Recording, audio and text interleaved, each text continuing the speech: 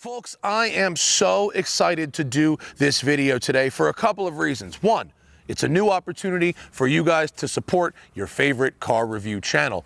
Two, it's an opportunity for you guys to grab a cool piece of swag for yourselves that you can use every morning. And three, you can win a new car. New used car. We've partnered with the veteran-owned GetEnteredToWin.com to give away this 2005 C6 Corvette in red over black with a manual transmission. And I am super excited to do it. By going to getenteredtowin.com slash TST or hitting the link in our video description, you can enter to win this very car. But by the time the game ends, it won't look like this and it probably won't drive like this because in this video series, Zack and I are going to evaluate this straight but stockish Corvette C6, evaluate what it needs, how we can improve it to make it the best Corvette it can be. You guys can watch along and order your mugs during the course of this video series. And then on July 19th at 11.59 p.m. local time, the game will end and one of you will take home the 2005 Corvette project car. Overall, this car is pretty good. It's actually harder than you think to find a clean, no stories uh, manual transmission Corvette. At this point, a lot of them have been really, really beat up. But there are some areas obvious right off the bat that we can improve. For one, the exhaust. It's an aftermarket system of unknown provenance. We can do better. Not to mention these tips on the left are, are bent. Someone must have backed it up into something and bent that tip. So we're going to change that exhaust.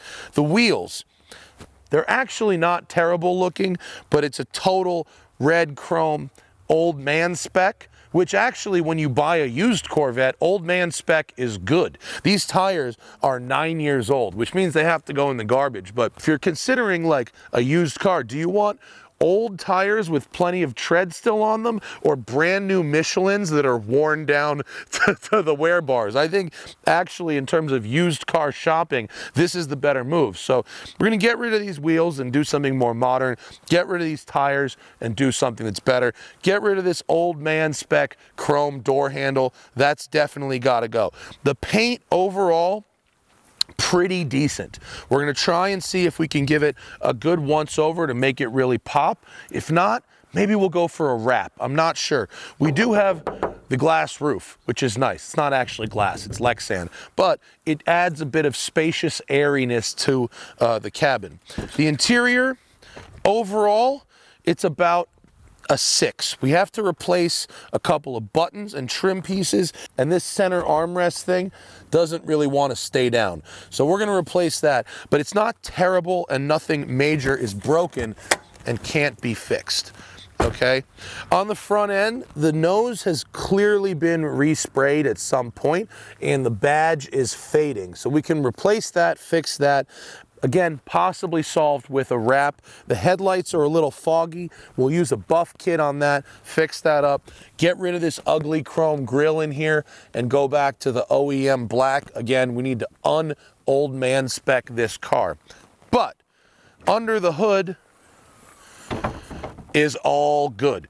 The LS2 engine runs really smooth, it makes good power, it had a recent service, it could use an engine bay detail for sure, but nothing major is out of whack or smelling or smoking under here, and the heart of the beast is in good shape. So, Zack and I are going to hit the canyons in the car as it sits today, evaluate what it needs, how we can make it better. Let's go for a ride revs up properly. Sounds really good. Sounds like an LS2 is all supposed the, to sound. All the gauges work. The heads-up display works. That's yes. Even the even the G meter.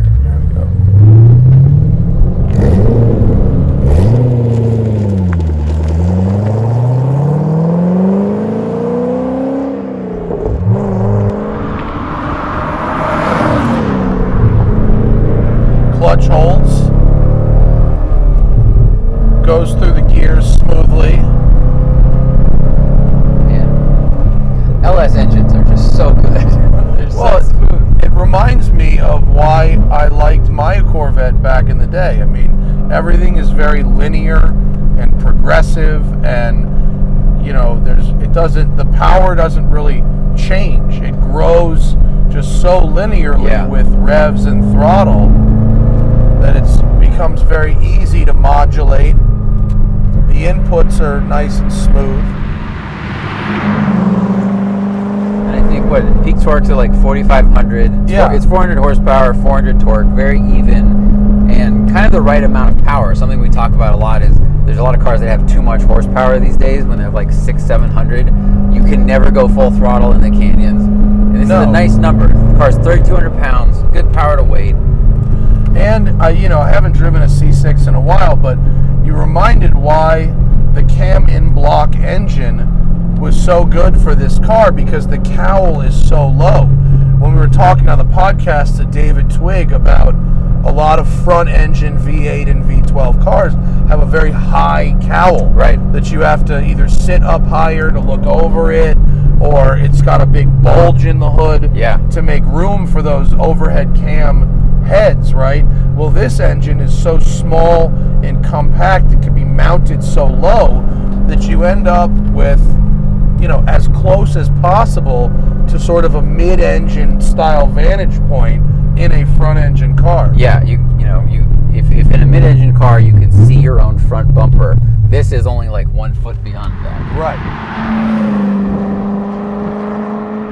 Yeah, the clutch feels pretty good, and the shifter feels pretty good, and so far the mechanicals are passing muster, so Okay, that's good. good. Now, when I had my Corvette, I did a lot of modifications to it. Yeah. And it, a lot of people said, well, if you had to start over, what would you do? So this gives us sort of an opportunity to do something similar. Mm-hmm. I would have left the engine alone. I would have done brakes, suspension, seats, and exhaust, and that's pretty much it. And wheel, wheels and tires, mm-hmm. because that's because the original ones were sport. Would you have gone with a quieter exhaust than yours? No, no, you you want to hear it, but I'm not saying I would have done. I, I mean, I had an exhaust. He had I- an exhaust that I think it hit 135 on the decibel meter. It was so loud. It was insane. It was so loud, but it didn't need to be that loud. That was like 22 year old Matt. Right. Exhaust choices. I wouldn't have done that. This exhaust sounds actually pretty nice up here in the canyons, where I'm between three and five thousand RPM.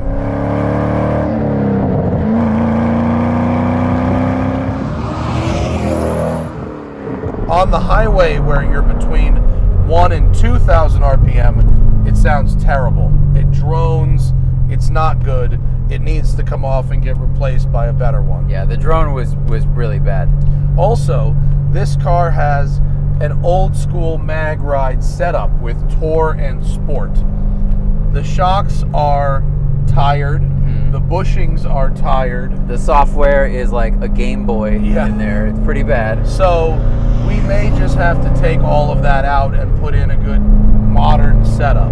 I, I mean, we've driven enough cars that had, you know, regular coilovers that rode both both more comfortably and handled better in the canyons. Like, just because this has two modes doesn't mean that it's better. Right. The modes are too squishy and Yeah. too bouncy. Yeah, two bad modes does not make a right. Right. The brakes also feel a little soft. It could just be old pads and old fluid, and based on the age of the tires, it's likely both. But we may need to go further than just new pads and fluid. Once we have that inspected, we can uh, we can find out what yes. it really needs. See if we need to go upgrades or not.